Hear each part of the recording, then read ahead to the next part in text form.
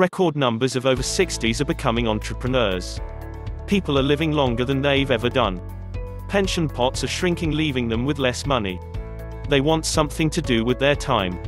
David Cliff, age 52 senior dating agency. Susie Lennox, age 58 organic lubricants.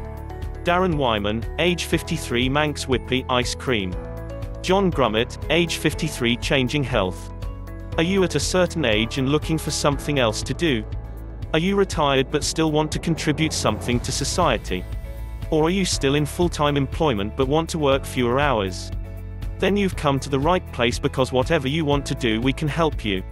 Whether that be starting your own business. Or if you want to help other people with their businesses.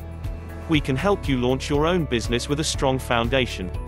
Or we can teach you how to help others promote their businesses all in just a few hours per week. If you are definitely interested then pick up the phone so we can have an informal chat.